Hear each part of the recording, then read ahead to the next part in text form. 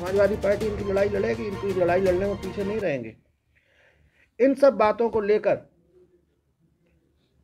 जो किसानों, नौजवानों, व्यापारियों, मजदूरों, सरकारी कर्मचारियों के साथ जो धोखा हुआ है, और जिस तरह से आज देश में हालात हैं, बिल्कुल आर्थिक इकोनॉमिकल इमरजेंसी जो इस देश में आ गई है, सारे देश की जनता जान रही है। इन मुद्दों से ध्यान भटकाने के लिए ये सरकार नागरिकता संशोधन बिल ले आई।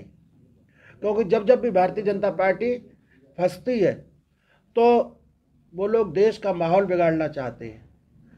क्योंकि ये उनके पहले भी किए गए प्रयोग हैं कि जब देश का माहौल बिगड़ेगा तो उनको पॉलिटिकल माइलेज मिल मिलेगा।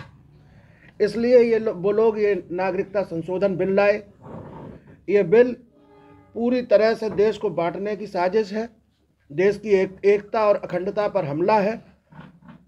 देखिए, जैसा कि हमने पहले कहा कि यह देश को बांटने की साजिश है और देश को बांटने की किसी भी साजिश को समाजवादी पार्टी सफल नहीं होने देगी। हम लोग उसका विरोध करेंगे और जो भी लोग देश को बांटने की, के खिलाफ हैं, अपना कोई अगर वो मूवमेंट करेंगे तो समाजवादी पार्टी उनके साथ होगी।